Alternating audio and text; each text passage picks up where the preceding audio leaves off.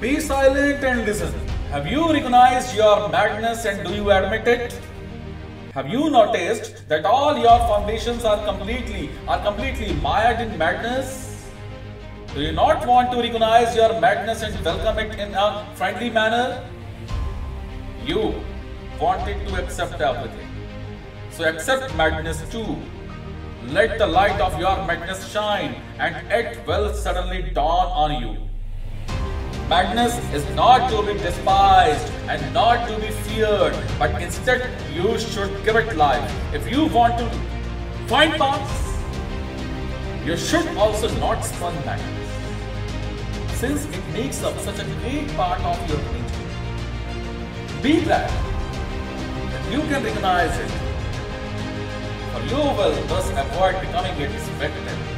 Madness is a special form of the spirit and clings to all teachings and philosophies, but even more to daily life. Since life itself is full of craziness and at bottom utterly illogical. Man strives toward reason only so that he can make rules for himself. Life itself has no rules.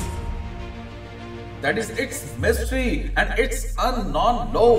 What you call knowledge is an attempt to impose something compressible on life.